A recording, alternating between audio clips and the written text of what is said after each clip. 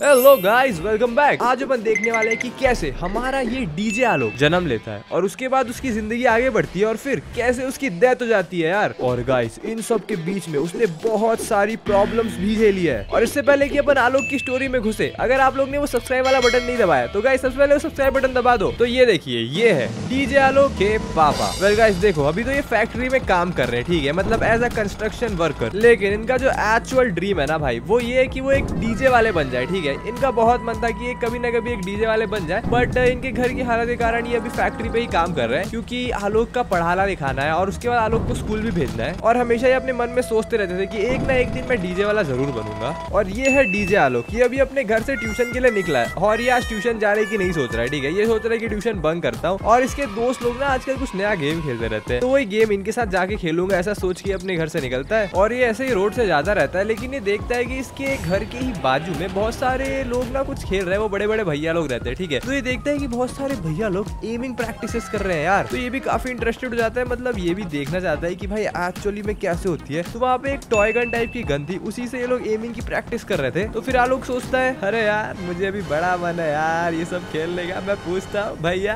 भैया, क्या मैं भी एक आध एम लगा लू क्या? अरे बच्चे, ये छोटे लोग का खेलना ही है, समझा? यहाँ पे जिगरा चाहिए, जिगरा। अभी एक आध मिस होगा, सब तेरे ऊपर हंसने लगेंगे, समझा? चल भाग जा इधर से, नहीं तो फिर मैं तेरे ऊपर ही मार दूँगा गोली। अरे नहीं नहीं नहीं, भैया, मेरा एम बहुत अच्छा है, मैं बचपन में ना बहुत बढ़िया खेलता था। अच्छा भैया से बस बाजिए ले, गन पकड़ और एक मार के दिखा, मानते हैं, अगर नहीं मार पाए तो हम मारेंगे तेरे को, ठीक है? अरे बाप रे बाप, आप तो संकट में डाल दिए। चलो ठीक है, अब ऐसा बोल ही रहे तो फिर ठीक है, गन दे दो मुझे। चल, मार के दिखा। अरे अरे अरे, मारता हूँ भाई, निशाना लग जाना यार, मेरा निशाना अच्छा हो, काश। ये लेट्स गो अरे वाह। अरे बहुत बढ़िया बहुत बढ़िया बहुत बढ़िया। अरे बच्चे तेरा निशाना तो बहुत बढ़िया है। तेरी उम्र में ऐसा निशाना बहुत ही कम लोगों का होता है कि बेटा वेरी गुड बेटा तुम अच्छा कर सकते हो। तुम इस प्रैक्टिस में रहना और तुम एक दिन बहुत अच्छा एम कर पाओगे ठीक है बेटा? चलो गन लौटा दो। अरे हाँ ये लो अपनी गन। मैं चलता हूँ यार मुझे ट्यूशन अरे ट्यूशन थोड़ी दोस्तों के साथ जाना यार। लगता है मेरी एमिंग बहुत बढ़िया एक दिन मैं बहुत अच्छा गन चलाने वाला ज़रूर बनूँगा और ज़्यादा हुआ तो आर्मी ज्वाइन करके दुश्मनों का खात्मा करूँगा यार। गाइस तो फिर ये ट्यूशन ना जाकर अपने दोस्तों के पास चला जाता है और ये लोग फिर ऐसे आपस में कुछ बातचीत करते रहते हैं। लेकिन तभी ना इसके पापा को आलोक से काफ़ी ज़्यादा काम रहता है तो ये आलोक को दूर दूर जाके खोजते रहते हैं, कहाँ है कहाँ है? फिर इन्हें याद आता है, अरे, आलोक तो ट्यूशन गया होगा। तो ये उसके ट्यूशन जाते हैं, ठीक है? लेकिन गाइस जब वो ट्यूशन पहुँचते हैं और वहाँ पे जब पूछा जाता है की आलोक आया था, नहीं आया था, कहाँ है तो ये बताते की आलोक तो आया ही नहीं है और वो आजकल बहुत छुट्टियाँ मारता रहता है। पढ़ाई को भी लेकर उसमें अच्छा सा सीरियसनेस नहीं है अच्छे से पढ़ नहीं रहा है। ये सुन के उसके पापा बहुत गुस्सा हो जाते हैं और अब ये समझ जाते हैं कि ये कहाँ होगा। क्योंकि इसके पापा को पता है कि कुछ आलोक के ऐसे गवार टाइप के दोस्त हैं, उनके साथ घूमने से आलोक को मना किया गया है। पर फिर भी आलोक उनके साथ ही घूमता था उसके पापा बहुत गुस्से में थे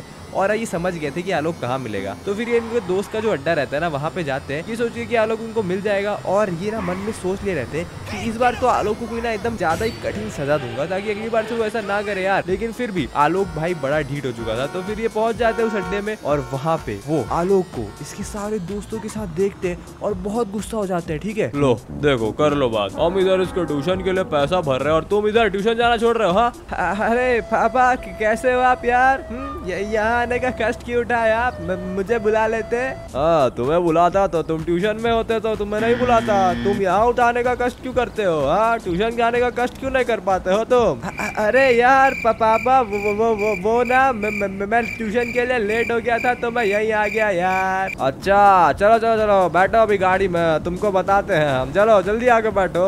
अरे बाप रे बाप, आज तो बैंड बजेगी, भाई। अरे पापा, आज का मौसम बढ़िया है ना? क्यों? मैं तो सोच रहा था कहीं आज घूमने चले जाए क्या? अभी तेरा घूमना निकालूँगा बेटा, तेरे को मौसम बहुत अच्छा लग रहा है ना? रुक जा रुक जा। ये बता कि हम ट्यूशन के लिए इतने महँगाई से लड़ झगड़ के तुम्हारा पैसा बचा के ट्यूशन फ़ीस देते हैं और तुम ट्यूशन क्यों नहीं जाते हो? अरे यार, वो वो पापा, मैं तो बस आज ही नहीं गया यार। बाकी दिन तो मैं जाता रहता हूँ ना। अच्छा तुम्हारे टीचर तो बोल रहा था कि तुम बहुत दिन से नहीं आते हो, झूठ भी बोलने लग गए हो आजकल। अरे यार, पापा, आप टीचर से भी मिल लिए क्या? चलो ठीक है यार। अभी तुम कुछ नहीं, चुपचाप घर जाएगा और पूरा सिलेबस पढ़ेगा बैठ के, समझा? इधर उधर का ही नहीं भागेगा। चुपचाप घर जाओ और बैठ के पढ़ो, ठीक है? अरे, वो तो ठीक है, लेकिन पापा, आप मुझे खोज क्यों रहते ये तो बताओ यार। अरे, वो वो वो हम तुम्हें बाद में बताएगा। चलो, अभी घर जाओ। अरे ठीक है यार, ठीक है। मैं भी चलता हूँ घर, चुपचाप पढ़ूँगा। यार गाइस पढ़ाई तो मुझसे होगी नहीं। घर पे मैं क्या करूँ यार? अरे वाह, मेरे पास एक आइडिया है। मेरे पास भी तो एक टॉय गन है। मैं उससे एमिंग प्रैक्टिस करूँगा, बढ़िया।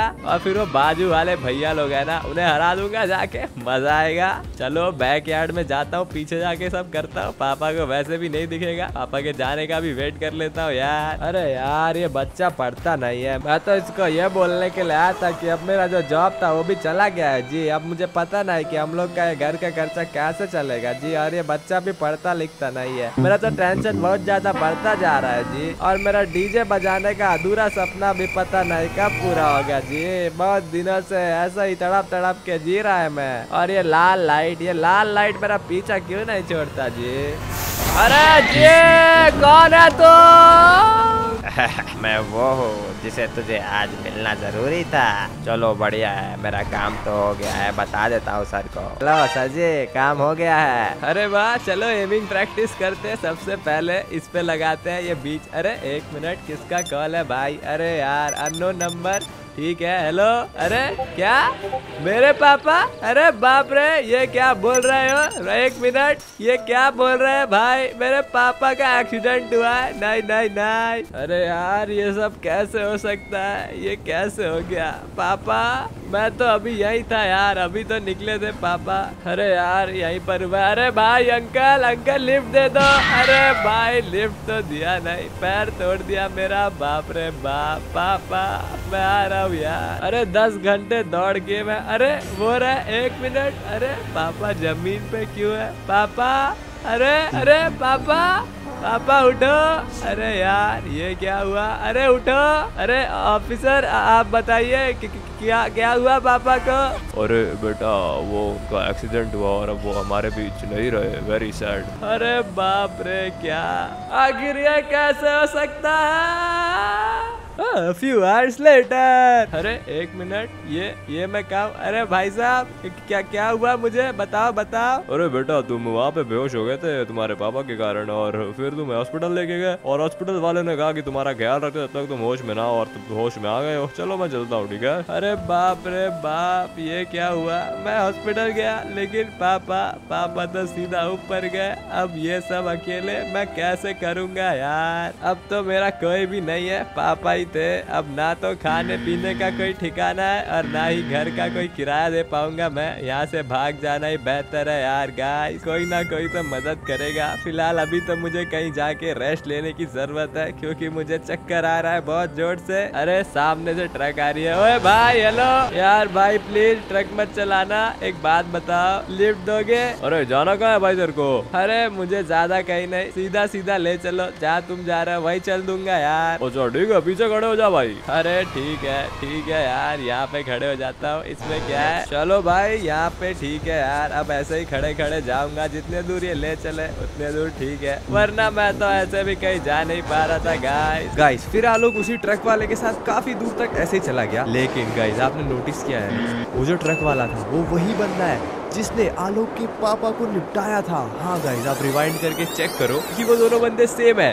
और अब उसी के साथ आलोक कहीं दूर जा रहा है भाई। फ्यू डेज़ लेटर अरे यार, ये लोग मुझे कहाँ ले आए और बोलते हैं कि अगर खाना खाना हो तो यहाँ पे दिन भर काम कर लो। और गाइस मुझे गार्डनिंग का काम दिया अरे भाई गार्डनिंग मुझसे करा रहे अरे मैं तो बढ़िया ट्यूशन स्कूल जाने वाला बच्चा था। ये मैं कहाँ आ गया? किसके साथ आ गया? कितने दूर ले आया मुझे? रस्ते में तो मुझे गाड़ी के अंदर बुला के सुला दिया था। अरे भाई, पता नहीं कब तक ये घास छिलना पड़ेगा यार। गाइस अब आलोक यहाँ पे फंस चुका था। अब वो काफ़ी समय तक ऐसा ही कुछ कुछ काम करता रहा, घास छिलना हो गया, या फिर यहाँ से सब्ज़ी लाना हो गया, या फिर किसी की देख रेख करना, यही सब करता था। और कम से कम ऐसा करते करते काफ़ी साल बीत गए। गाइज़ अब आलोक काफ़ी बड़ा हो चुका था और ये यहाँ के छोटे बड़े सारे प्रकार के काम करता था और ये काफ़ी सालों से था यहाँ पे। तो जितने भी लोग थे यहाँ पे, वो आलोक को जानने लगे थे। और यहाँ पे मेन काम ये था की एक बड़ा सा फार्म है, ठीक है? तो यहाँ पे बाहर से लाके रॉ मटेरियल्स आने पड़ते थे और यहाँ के जो भी सामान होते थे ना, उसको सिटी में एक्सपोर्ट करना रहता था। तो आलोक मेनली यही काम करता था ड्राइवर वाला। और इससे इसको काफ़ी सारे पैसे भी मिल गए थे मतलब यहाँ पे जो लोग रहते थे, वो उसको रेगुलर बेसिस पे पैसे दे देते थे। तो ये वो सारे पैसे बचा के ना, एक बहुत ही अच्छी चीज़ लेने की सोचा। अब वो ऐसी क्या चीज़ हो सकती है गाइज़ आप लोग भी एक बार गैस करके सोचो। गाइज़ इसने सोचा कि उससे ये डीजे लेगा, क्योंकि गाइज़ इसके जो पापा का सपना था ना, एक डीजे बनना तो वो कहीं ना कहीं इसके दिमाग में था और ये सोच भी रहा था बहुत दिनों से मैं भी एक डीजे वीजे खरीदूँगा यार और एटलीस्ट मैं डीजे खुद सीखूँगा, इधर उधर लोगों को सिखाऊँगा और बजा बजा के खुश करूँगा। तो ये जाता है डीजे वीजे की शॉप में।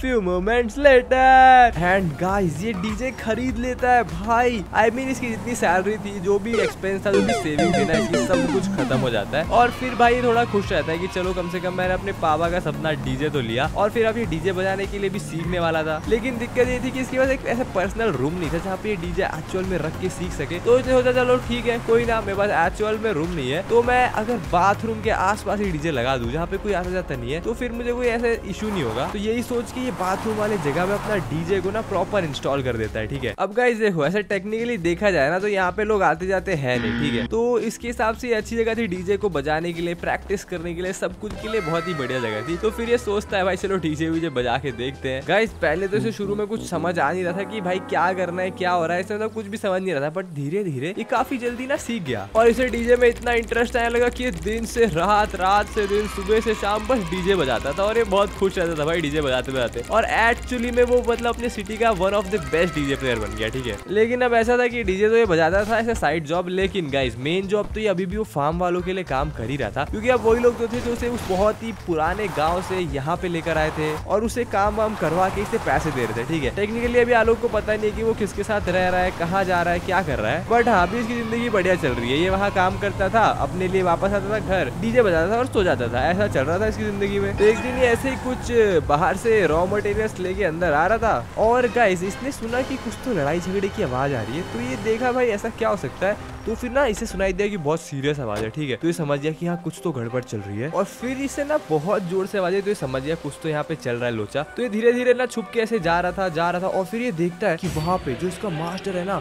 मतलब की जो एक्चुअली में इसका बॉस है, उस बॉस को कुछ बंदों ने गिरफ़्तार कर लिया और वो उसे पैसे की मांग कर रहे हैं। तो गाइस अभी समझ गया कि इसे करना क्या है। तो फिर ना इसके आस एक पत्थर रखा था, ठीक है? और इसका एम तो बहुत बढ़िया आप लोग जानते हो। तो इसने क्या किया? फटाफट से उस पत्थर को उठाया, ठीक है? और सीधा उस पत्थर को लेके आगे निकलता है और भाई उस गन वाले को मुँह पे मारता है। और ये दोनों को मतलब वो जो गन वाला था ना, वो गलती से इसे मार देता है और वो निपट जाता है। और फिर गाइस ये गन वाला ना एक्चुअली में पागल हो रहा था इधर उधर बंदों को मारे जा रहा था। लेकिन आलोक के कारण उसे अपनी ही गोली लग गई और वो मर गया भाई। और सिर्फ़ और सिर्फ़ आलोक के ही कारण इसका बॉस बच जाता है और फिर इसका बॉस बोलता है, अरे वाह आलोक, तुमने मेरी जान बचा ली। तुम इतने बढ़िया हो फाइट में, मुझे पता नहीं था यार। और मैं तुम्हें यहाँ पे घास फूस का काम करवा रहा था, तुमसे ड्राइविंग करवा रहा था। तुम तो बहुत ही बढ़िया हो यार फाइटर तुम एक काम करो तुम मेरे मेन बिज़नेस पे आ जाओ, जो कि है फाइटिंग हम गन एक्सपोर्ट इम्पोर्ट करते हैं और हम एक दूसरे को मारते भी हैं, समझे? क्या बोलते हो? क्या तुम्हें मेरा प्रपोजल एक्सेप्ट है? अरे यार, मैं तो वैसे भी गन के लिए बड़ा मरा जा रहा हूँ। मुझे गन चलाने का मौका मिल जाए, और क्या? ठीक है, हमारी इस दुनिया का नाम है फ्री फायर वहाँ पे लोग एक दूसरे को मारते हैं, मरते हैं, और गोली भी चलाते हैं। तुम तैयार तो हो ना? अरे अरे अरे, बिल्कुल। गाइस तो ऐसे आलोक फ्री फायर की दुनिया में घुसता है और अब पाँच साल बीत चुके हैं, पाँच साल बाद। और गाइस ये है आज का आलोक, जो कि अब फ्री फायर की दुनिया पे आ चुका है और यहाँ पे ये दुश्मनों को मारने भी लगा है। यहाँ पे इसे प्रॉपर फाइट करनी पड़ती है, ठीक है? बड़े बड़े दुश्मन आते हैं, एक से एक वेपन लेकर आते हैं। लेकिन गाइज़ आलोक अकेले ही सबको हैंडल कर लेता है, क्योंकि उसकी एमिंग बहुत अच्छी है और उसने एमिंग पे भी बहुत प्रैक्टिस करी है। और गाइज़ अब इसी से इसे पैसे भी मिल जाते हैं और इसे मज़ा भी आने लगता और धीरे धीरे करके फ्री फायर का one of the top players में से आने लग गया और एक काफ़ी फ़ेमस भी हो गया। लेकिन गाइज़ एक दिन दुश्मन इतने ज़्यादा हो गए थे कि आलोक एक्चुअली में इधर उधर फंस गया था और हर जगह से कवर भी हो गया था। और गाइज़ इसे दोनों तरफ़ से जब घेर लिया गया तब इसके पास समझ नहीं आ रहा था तो क्या करना चाहिए। ये मारे जा रहा है, बंदूक को मारे जा रहा है, लेकिन उसी दिन उसकी डेथ हो गई। तो गाइज़ ये तो थी अपनी आलोक की स्टोरी अगर आपको पसंद आई तो लाइक करो, चैनल पर तो सब्सक्राइब करो। अपन मिलते हैं भाई नेक्स्ट वीडियो में।